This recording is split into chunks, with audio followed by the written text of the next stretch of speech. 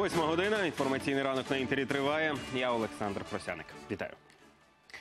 На сході країни знову артилерійські обстріли. Окупанти били з важкого озброєння на півдні Донеччини по водяному. Широкіне і Павлопіль обстрілювали зі 120-х мінометів. Вогневі удари зі зброї менших калібрів фіксували і на інших ділянках лінії розмежування. На Світлодарській дузі бойовики випустили майже сотню мін по позиціях військових. Атака тривала майже три години. Загалом 22 обстріли за добу. Жоден український боєць не постраждав. Повідомили у штабі АТО. Один із підозрюваних у смертельному ДТП у Харкові Геннадій Дронов може оголосити сухе голодування через рішення апеляційного суду. Дронова залишили під вартою до 19 грудня. Напередодні він узяв участь у слідчому експерименті. На місці трагедії показав, як саме рухався його автомобіль і де був у момент зіткнення. Нагадаю, місяць тому Лексус під керуванням студентки Олени Зайцевої на великій швидкості зіштовхнувся з Фольксвагеном Геннадія Дронова, який рушав із перехрестя на жовте світло. П'ятеро людей загинули на місці. Ще одна дівчина померла через тиждень. У лікарнях залишаються три жінки. Поліція обіцяє завершити слідство до кінця місяця. Требование справедливость, ребят. При каких условиях прекратите? Когда справедливо все рассмотрят, вы, вы свидетели, вы все видели. Есть видео, есть куча людей свидетелей, все это есть. Я вважаю рішення необ'єктивним і, звісно, ми будемо звертатися до Європейського суду з прав людини, тому що е, нами м, в апеляційному суді було надано ґрунтовні е, заперечення на рішення е, суду е, слідчого судді першої інстанції. Автівкою по супермаркету у Харкові чоловік роз'їжджав торговельним залом на власному автомобілі. Як розповіли свідки пригоди, він протаранив двері магазину і в'їхав до приміщення. У поліції повідомили водієві 32 роки. Правоохоронці, які прибули за викликом, помітили у нього ознаки наркотичного сп'яніння. Неадекватного водія затримали. Серед відвідувачів супермаркету постраждалих немає. Резонансний суд у Черкасах 29-річного Сергія Бондаренка минулої осені до смерті забив титулований майстер змішаних єдиноборств, син місцевого бізнесмена Ілля Новиков. Суд, суд першої інстанції визнав молодика винним і присудив йому 8 років ув'язнення. Втім, таке покарання Новикову здалося занадто суворим, тож його адвокати оскаржують вирок. Станіслав Кухарчук тримає руку на пульсі гучної справи. Це кадри з камер спостереження одного з черкаських нічних клубів. Вони зафіксували останні хвилини життя 29-річного Сергія Бондаренка. На відео спортсмен та син місцевого бізнесмена Ілля Новіков з тусанами виштовхує хлопця на двір. І вже там від сильних ударів той падає непритомний на землю. Не приходячи до тями, Сергій помирає у лікарні менш ніж за добу. Після майже року судових слухань суд таки визнає Новікова винним у вбивстві і засуджує до восьми років позбавлення волі. Але його адвокат подає на апеляцію, хоче домогтися пом'якшення покарання, пояснює захисник батьків загиблого хлопця.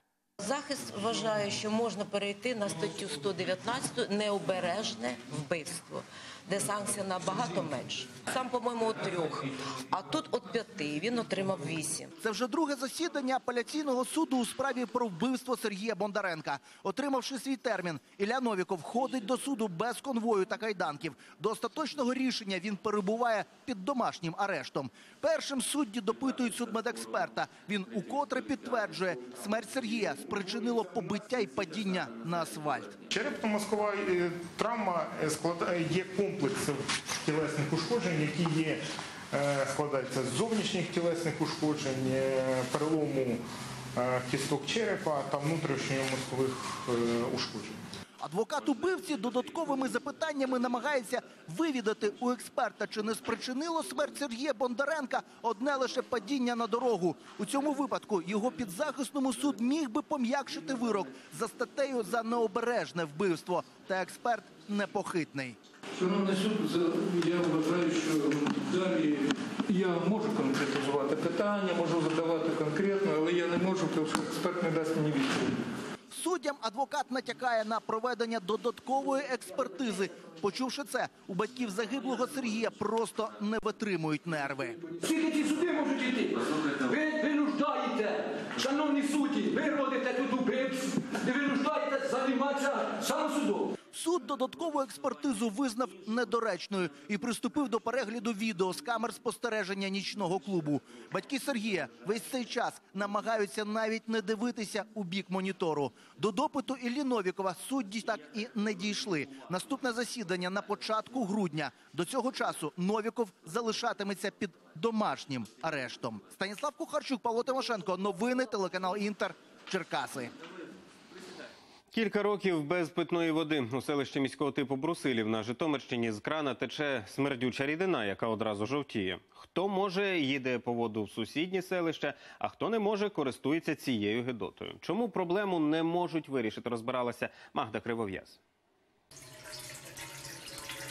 З першого погляду з крана тече звичайна чиста вода. Спробуємо її нагріти. Колір змінюється на очах. Ось такою жовтою водою майже дві сотні жителів Брусилєва змушені користуватися щодня. Однак ані пити, ані готувати на ній, і навіть прати нею неможливо. Що буде, якщо прати у такій воді на одежинці своєї онуки, демонструє Марія Сергіївна. Моїй внучці год і два місяці. Після того, як ми попрали її речі, вони набули от такого вигляду. Більшість цих людей переселенці з Чорнобильської зони тікали від радіації, а тепер кажуть, рятуються від брудної води. Хто має можливість, возить чисту з інших селищ. Решта змушені користуватися тим, що є. Вона красна, не то, що вона ржава, вона вже ржава і ще раз ржава, і нап'ється здохнути, так уже й буде. Ось я грію воду. Оце, оце така кружка. Така ситуація тут вже кілька років. Місцеві кажуть, труби заржавіли. І хоча люди вже зверталися до різних інстанцій, нормальна вода з крану так і не пішла. Організація, яка відповідає за якість води. Вони написали, що ваш е, вода питна не відповідає нормам, не е, по вмісту заліза. А звинувачують в усьому працівників місцевого комунального підприємства. Мовляв, ті ніяк не замінять труби, хоча гроші на це є. Однак директор КП каже, кошти на ремонт уперше за майже 30 років виділили лише у жовтні. Тож до роботи взялися, встановили фільтри. Утім, говорить, люди частково самі винні у тому, що вода брудна. Роботи проводяться кожен день, без субот, без вихідних. Міняється запірна арматура, всі вставки між запірною арматурою. Але крім цього, місцеве населення має таке свойство все сміття туди скидати. Вначалі, щоб це зробити, то ще займаємося чисткою смітників. Ремонт і справді триває, однак саму заміну труб ми не застали. Міняю старі задвіжки на нові, щоб те погано закривають, щоб ті лучше робили. Частина місцевих мешканців уже відмовилась від водопостачання і поробили собі свердловини. Решта, якщо ситуація не зміниться, планують зробити те саме. А це може негативно вплинути на роботу КП. Я думаю, не розвалиться, його не буде. І к тому хай ще год, два, три прийде, його не буде существувати. В комунальному підприємстві ж обіцяють ремонтні роботи завершать за місяць. Тоді й дізнаємось, чи змінилась ситуація. Магда Краєвяз, Даніель Косаковський. Новини телеканал Інтер.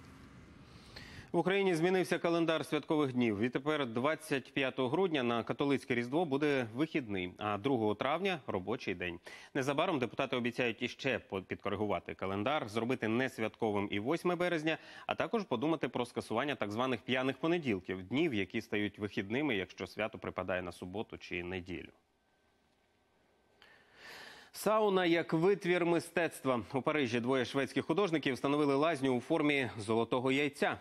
Більше про мистецько-оздоровчий об'єкт Ірина Іванова. Сонячні панелі, ефектний дзеркальний відблиск, оригінальна форма. Шведи подарували французам можливість погрітися в справжньому арт-об'єкті просто посеред міста. Мистецький витвір, фінська сауна у формі яйця вписалася у паризькі ландшафти, мов рідна. Художники Мац Бігерт і Ларс Бергстром привезли її з Лапландії. Ще рік тому в цій сауні ніжилися жителі шведського містечка Кіруна. Проте все поселення довелося перемістити через роботу залізних копалень. Відтоді золоте яйце кочує світом. Ми все життя про це мріяли створити арт-об'єкт, яким люди зможуть користуватися. Удома було трохи незвично бачити, як майже голі люди заходять у наше яйце і ховаються у цій золотій кулі. У Швеції навколо лежав сніг, такий разючий контраст. А тут у Франції осінь, що теж дивно. Наше яйце заграло іншими барвами. Позолочені пластини з нержавійки ззовні, запашні сосна та осика всередині. У цій сауні можуть одночасно паритися вісім осіб. Форму яйця лазні надали не випадково. За задумом творців, вона символізує народження нових ідей, які можуть осінити тих, хто гріється всередині. А дзеркальне покриття відображає проблеми навколишнього світу. Це абсолютно незвично, але тому і цікаво. Знаєте, це справжній прорив. Французи нарешті вдаються до практичної культури, чого тут дійсно бракувало. Тепер яйце гніздиться у шведському культурному центрі в Парижі. З кінця листопада мистецька сауна буде відчинена для всіх охочих. Ірина Іванова, новини телеканал Інтер. Поки що все. Більше новин о 9 Тоді побачимося. До зустрічі.